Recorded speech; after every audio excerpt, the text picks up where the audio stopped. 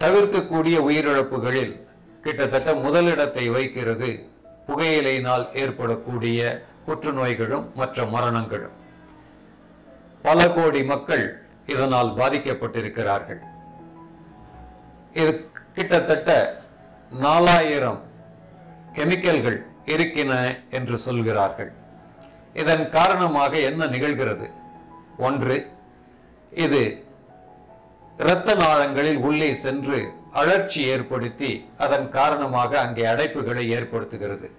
அதன் காரணமாக தான் புகை என்ற உடனேயே முதலில் வருவது உயிருக்கு பகை இருதய இரத்த ஓட்டம் குறைபடுவதன் காரணமாக ஏற்படக்கூடிய மாரடைப்பு நோய். அடுத்து அதே இரத்த ஓட்டம் மூளைக்கு போவது தடைப்பட்டால் பக்கவாதம் ஏற்படுகிறது. இது தவிர பெரிஃபரல் வாஸ்குலர் டிசீஸ் என்று கால்களில் ஓடக்கூடிய இரத்த ஓட்டம் தடைப்படும் போது சில நேரங்களில் விரல்களையோ அல்லது காலையே எடுக்க வேண்டிய நிலை கூட ஏற்பட்டுவிடும். இதே போல இது மற்ற இடங்களிலும் செக்ஸையும் பாதிக்கும்.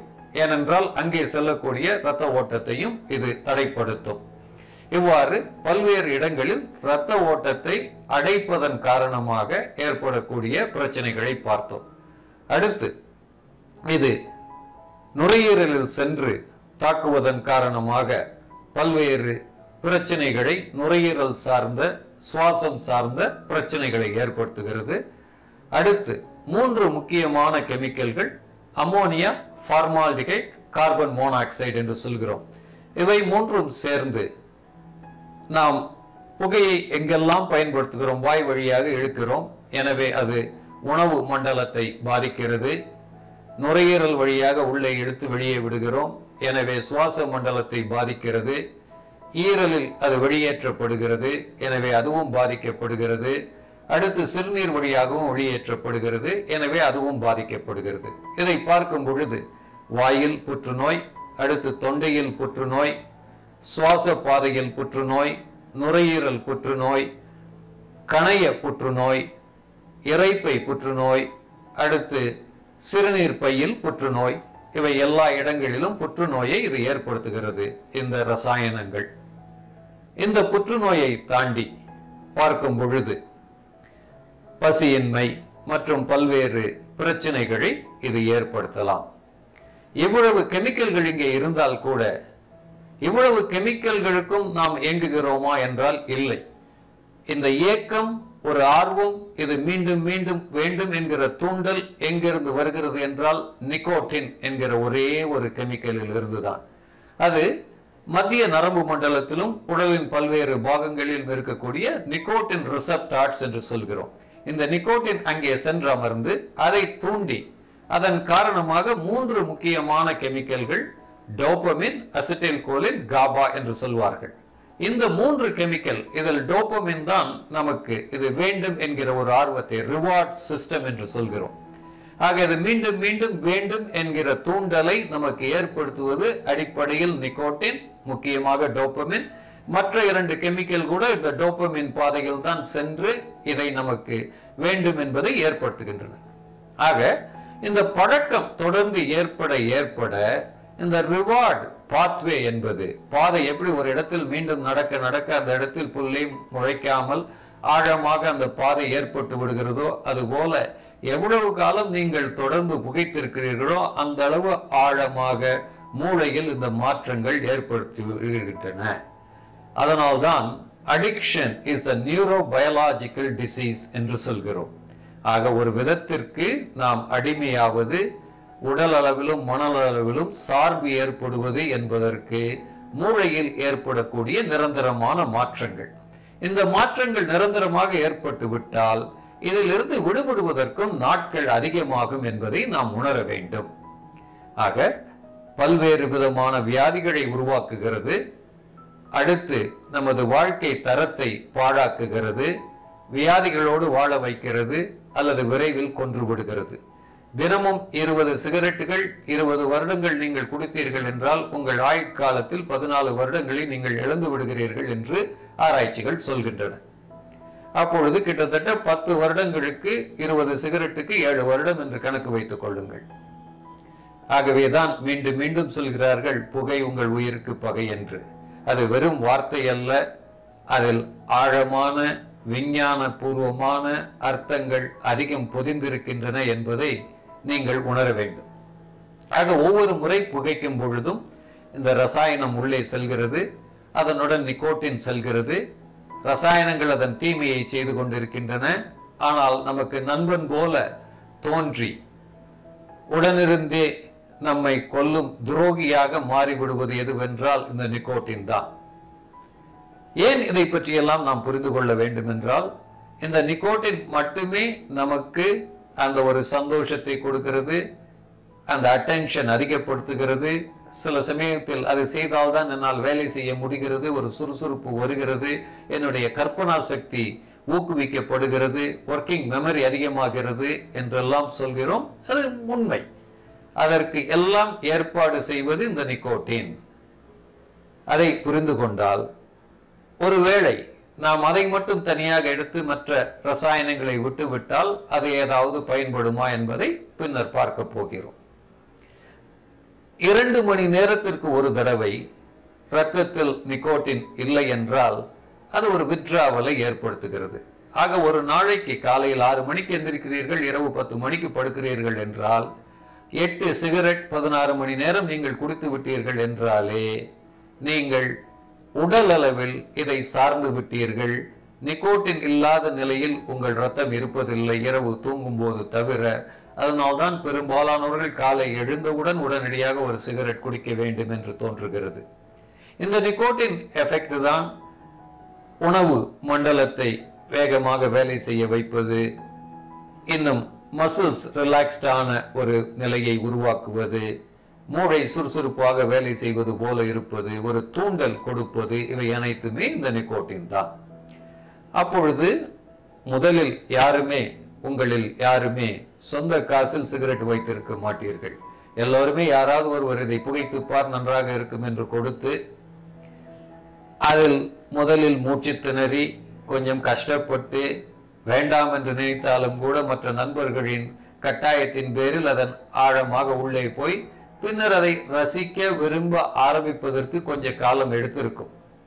ஆக ஒரு கெட்ட புழக்கத்திற்கு உள்ளே செல்வதற்கு இவ்வளவு கஷ்டப்பட்டு உள்ளே சென்றிருக்கிறீர்கள் என்றால் இதிலிருந்து வெளிவருவதற்கு இந்த அளவு கஷ்டமாவது பட வேண்டாமா? எளிதாக ஏதாவது வழி இருக்கிறதா என்றுதான் எல்லோரும் கேட்கிறார்கள்.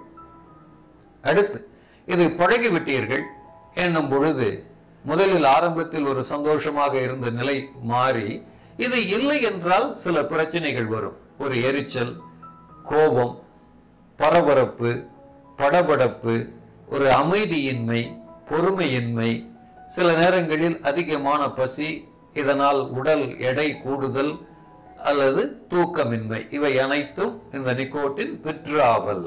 ஏனென்றால் உடம்பு ஒன்றுக்கு பழகி போகிறது என்றால் அதை திடீரென்று நிறுத்தும் பொழுது அது உடலிலிருந்து நீக்கப்படும் பொழுது அந்த விற்றாவல் சிம்டம்ஸ் நம்மை மீண்டும் மீண்டும் அதற்குள்ளே செல்ல வைக்கிறது. அதுதான் அந்த கிரேவிங் என்கிற வார்த்தையை பயன்படுத்துகிறோம்.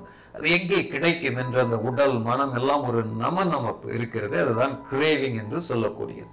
எங்கே எப்படியாவது இதை உடனே கண்டுபிடித்து குடித்து விட வேண்டும் என்று ஆகவே குளிக்கும் பொழுது ஒரு மாற்றம் முதலில் குடித்தால் ஒரு சந்தோஷம் கொஞ்ச காலத்தில் இதை நிறுத்தி விட்டால் இது இல்லை என்றால் ஏற்படக்கூடிய படபடப்பு பரபரப்பு பொறுமையின்மை இதையெல்லாம் விற்றாவல் என்று சொல்கிறோம்.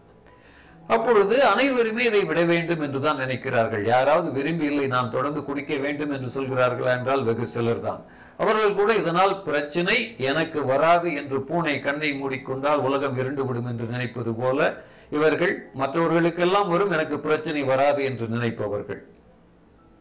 எத்தனை விதமான ஆதாரங்களோடு நாம் சொன்னால் கூட அதெல்லாம் மற்றவர்களுக்கு ஏற்படும் எனக்கு ஏற்படாது என்று. ஏனென்றால் அறிவு ஒன்று மட்டுமே நம்மை ஆரோக்கியமான வழக்கில் அழைத்து செல்லும் என்றால் நிச்சயமாக நான் பார்த்த மனநல மருத்துவர்கள் புகைத்திருக்க மாட்டார்கள் நுரையீரல் நோய் நிபுணர்கள் புகைத்திருக்க மாட்டார்கள் இருதய நோய் நிபுணர்கள் புகைத்திருக்க மாட்டார்கள். இவர்களெல்லாம் புகைக்கிறார்கள் என்றால் என்ன அர்த்தம்? அறிவுரை அடுத்தவர்களுக்கு ஆனால் அபாயம் தனக்கு நேராது என்று ஏதோ ஒன்று இவர்களை ஏமாற்றிக் கொண்டிருக்கிறது. ஆக படித்த சில மருத்துவர்களுக்கே இது நடக்கிறது என்றால் படிக்காத இதை பற்றி அதிகம் அறியாத எங்கிருந்தோ தெரிந்து கொண்ட சில தகவல்கள் என்றாலும் கூட நம் மனம் எப்பொழுதுமே நம்முடன் விளையாடும். அப்பொழுது நமக்கு சாதகமாகவே பல விஷயங்களை சொல்லி உண்மையான பாதகமான விஷயங்கள் நமக்கு ஏற்படும் என்றாலும் கூட அதை நம்மிடமிருந்து மறைத்து விளையாடும். ஆக இது நமக்கு உதவவில்லை. அங்கே நமக்கு குழிபறிக்கிறது நமது மனம் முதலிலே என்பதை புரிந்து கொள்ள வேண்டும். இப்பொழுது எல்லாம் புரிகிறது புகையினால் வரக்கூடிய பிரச்சனைகள் தெரிகிறது இதை விட வேண்டும் என்று நினைக்கிறோம். பெரும்பாலானவர்கள் சொல்லி இருப்பார்கள் நீங்களும் கேட்டிருப்பீர்கள் புகைப்பிடிப்பதை நிறுத்துவது என்பது எழுதி நான் பலமுறை அதை செய்திருக்கிறேன் என்று. அப்பொழுது என்ன அர்த்தம்? பலமுறை நான் புகைப்பதை நிறுத்தி இருக்கிறேன் மீண்டும் புகைத்திருக்கிறேன். ஆக எந்த ஒரு பழக்கம் அது மாற வேண்டும் என்றால் அதில் ஆறு நிலைகள் இருக்கின்றன. ஒன்று அதை பற்றி நான் யோசிக்கவே இல்லை. புகைப்பிடிப்பது ஒரு பிரச்சனையா? இல்லை. அதை தவிர எனக்கு எவ்வளவோ விஷயங்கள் இருக்கின்றன. ஆகவே இந்த புகைப்பிடிப்பது எனக்கு பாதகமா சாதகமா அதை நிறுத்த வேண்டுமா? இல்லையா? என்றெல்லாம் நான் யோசிக்கவே இல்லை என்பது முதல் நிலை. இரண்டாவது ஆம் புகைப்பிடிக்கிறேன் அது தவறு என்று சொல்கிறார்கள். அதனால் அந்த பிரச்சனைகள் வரும் என்று சொல்கிறார்கள். எனவே அதை நிறுத்தலாமா? இல்லையா? என்பதை பற்றி ஒரு யோசனை இதை கான்டம்ப்ளேஷன் என்று சொல்கிறார்கள். முன்னர் சொன்னதை ப்ரீ கான்டம்ப்ளேஷன் யோசனைக்கு முந்தைய நிலை யோசனை நிலை. அடுத்து யோசனை வந்த பிறகு உடனடியாக நாம் செயலுக்கு சென்று விட போவதில்லை. ஆக தயாரிப்பு நிலை ப்ரிப்பரேஷன் அப்பொழுது இது நிறுத்தலாமா? இல்லையா? நிறுத்தினால் என்ன நன்மை?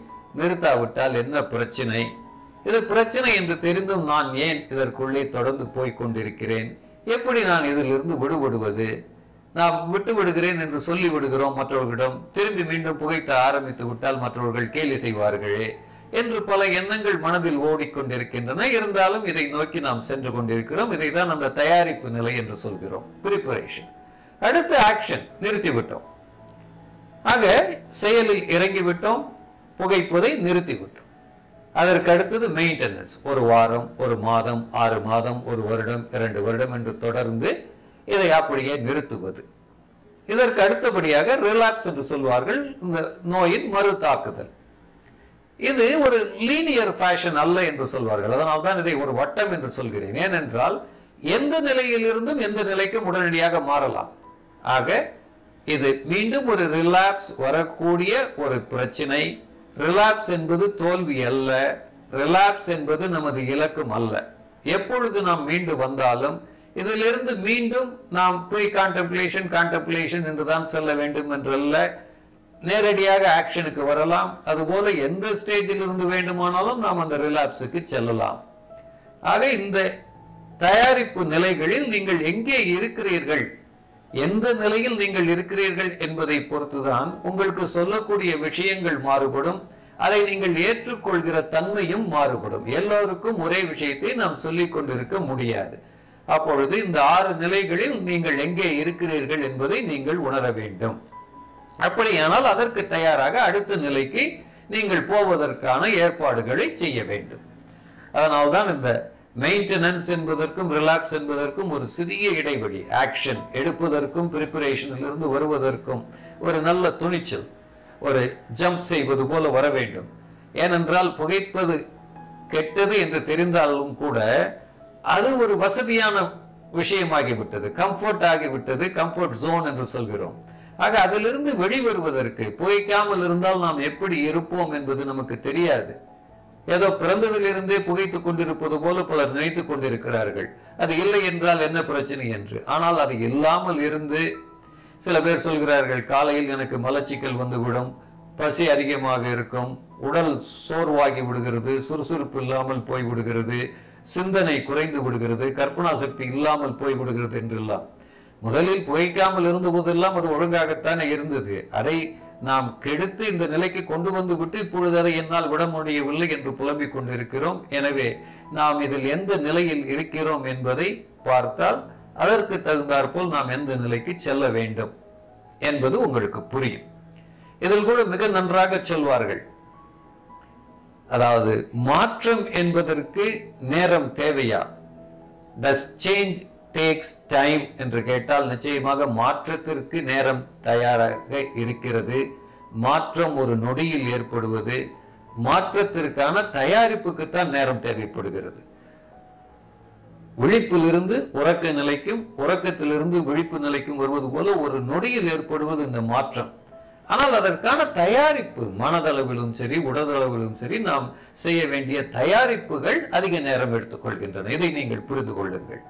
ஏனென்றால் பல பேருக்கு நான் பல முறை ஆலோசனைகள் செய்து புகையை நிறுத்தாதவர்கள். திடீரென்று ஒரு இருதய நோய் வரும்பொழுது இதய மருத்துவமனையில் சேர்கிறார்கள். அதற்கப்புறம் என்னை அவர்களுக்கு கவுன்சிலிங் ஆலோசனை கொடுப்பதற்காக அழைக்கிறார்கள். அப்பொழுது சொன்னால் சார் ஹார்ட் அட்டாக் வந்த பிறகு இனி போய் நான் ஸ்மோக் பண்ணுவேனா?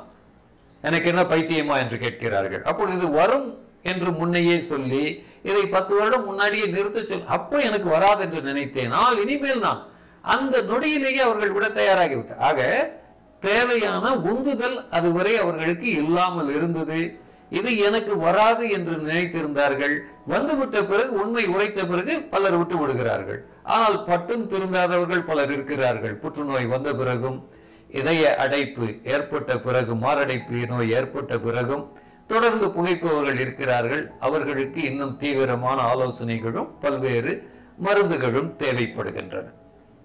இப்பொழுது இதை பற்றி தெரிந்து கொண்டோம். முதலில் சொன்னது போல புகை அது எப்படி நாம் அதற்கு அடிமையாகிறோம் அதன் விளைவுகள் என்ன என்று சொன்னேன்.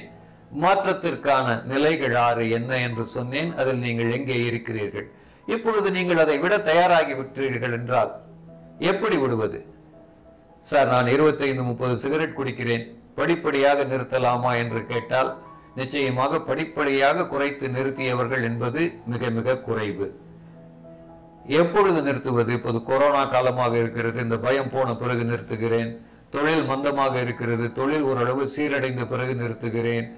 அல்லது குழந்தையின் பர்த்டேக்காக நிறுத்துகிறேன். என்னுடைய பர்த்டேயில் நிறுத்துகிறேன். அல்லது புத்தாண்டு இன்னொரு ஏழு மாசம் இருக்கிறது. அந்த நிலையில் நிறுத்துகிறேன் என்றால் நிச்சயமாக நீங்கள் நிறுத்தப் போவது இல்லை. என்று நீங்கள் நாளை என்று நினைக்கிறீர்களோ அப்பொழுது நிறுத்தப் போவதில்லை. இன்றே இப்பொழுதே இந்த கணமே நான் விட்டு விடுகிறேன் என்று நினைப்பவர்கள் தான் அதை உடனடியாக நிறுத்துபவர்கள். ஆக செயலில் உடனடியாக இறங்கலாம்.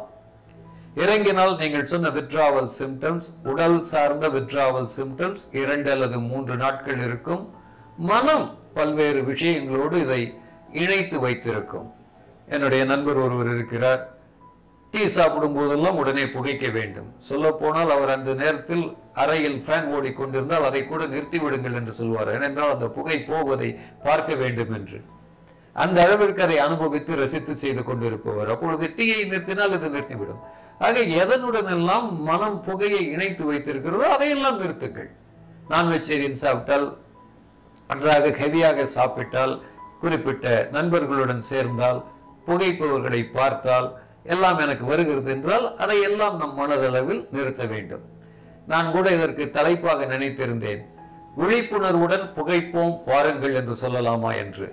ஏனென்றால் நாம் புகைப்பது என்பது ஒரு அனிச்சை செயலாக நடந்து கொண்டிருக்கிறது. ஏன் செய்கிறோம்? எப்படி செய்கிறோம்? என்று தெரிந்தே செய்வதில்லை யாரும்.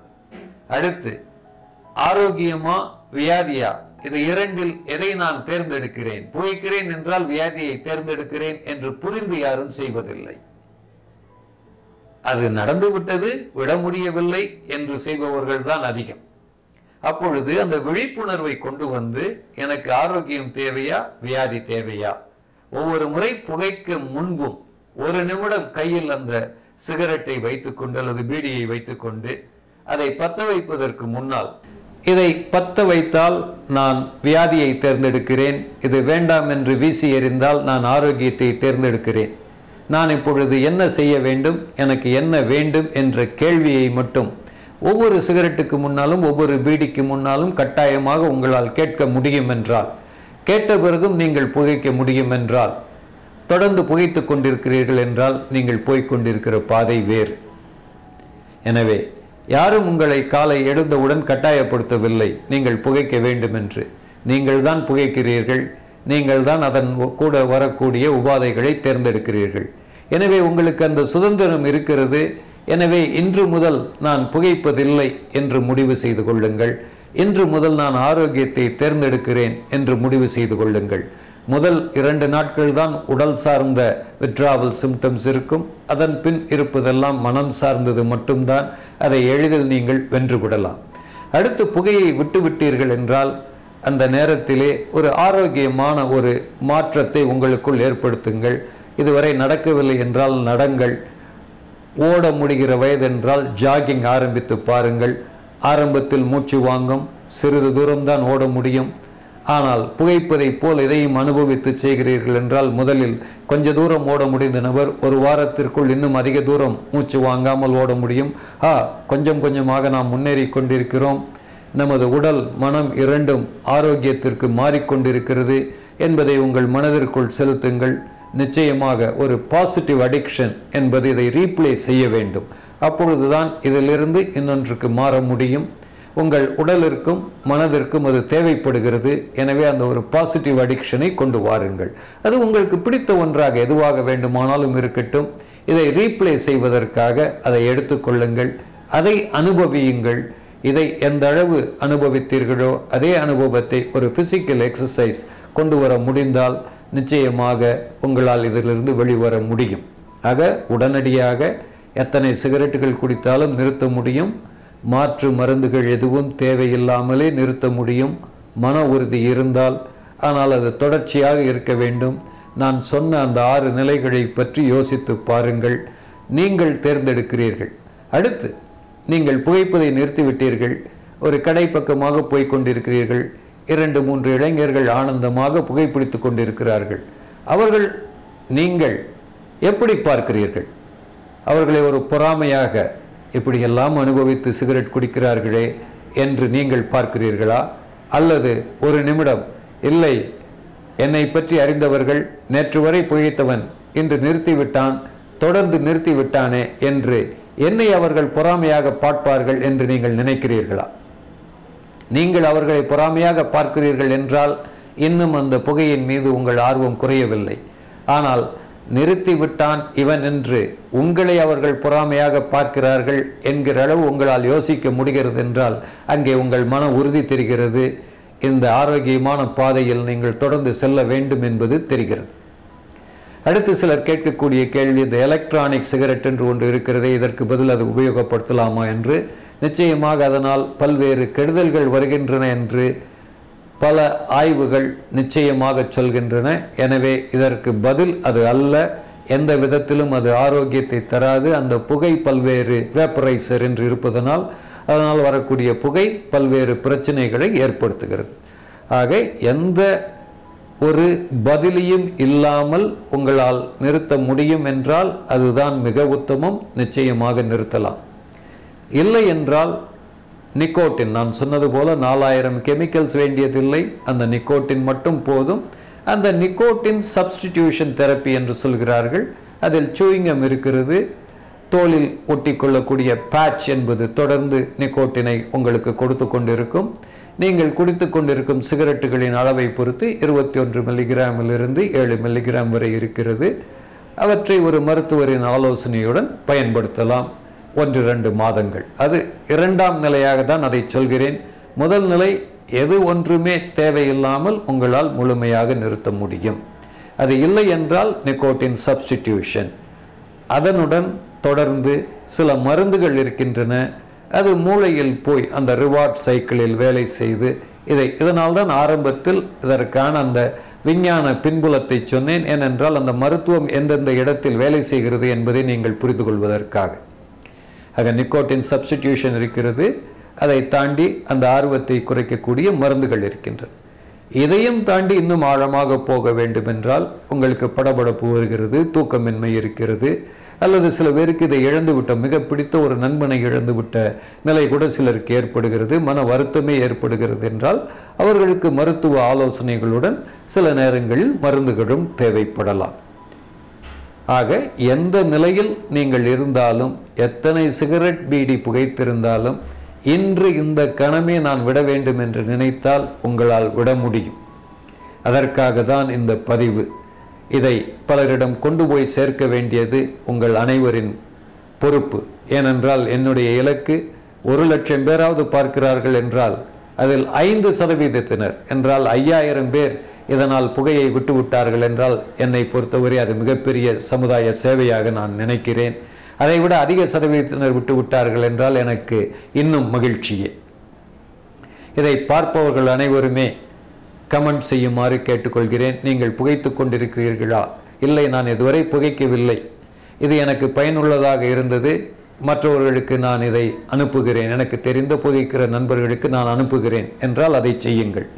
நான் புகைத்து கொண்டிருக்கிறேன் இத்தனை வருடங்களாக புகைத்து கொண்டிருக்கிறேன் இது எனக்கு பயனுள்ளதாக இருந்தது இன்றே நிறுத்துகிறேன் என்றால் இன்றே என்றதை பதிவு செய்துங்கள் இன்றே என்னால் நிறுத்த முடியாது ஆனால் இதை நிறுத்துவதை பற்றி யோசிக்க தோண்டி இருக்கிறது ஆறு நிலைகளில் எந்த நிலையில் நான் இப்பொழுது இருக்கிறேன் எவ்வளவு விரைவாக நான் மாறுவேன் என்றால் அதை நீங்கள் பதிவு செய்யுங்கள். எத்தனை பேருக்கு முடியுமோ அத்தனை பேருக்கு இதை அனுப்பி வையுங்கள். இது ஒரு மிகுந்த சிறந்த சமூக சேவையாக பலரை. அந்த நபர்களை மட்டுமல்ல அவர்களை காப்பாற்றுவதன் மூலம் அவர் சார்ந்திருக்கக்கூடிய குடும்பத்தையே காப்பாற்றக்கூடிய ஒரு விஷயமாக அமையும் என்பதில் எனக்கு மிகுந்த நம்பிக்கை இருக்கிறது. உங்களுடைய சமூக அக்கறையிலும் எனக்கு மிகுந்த நம்பிக்கை இருக்கிறது. எனவேதான் இன்றைய தினத்தில் இதை அவசரமாக பதிவு செய்து உங்களுக்கு ஒளிபரப்புகிறோம். நன்றி வணக்கம்.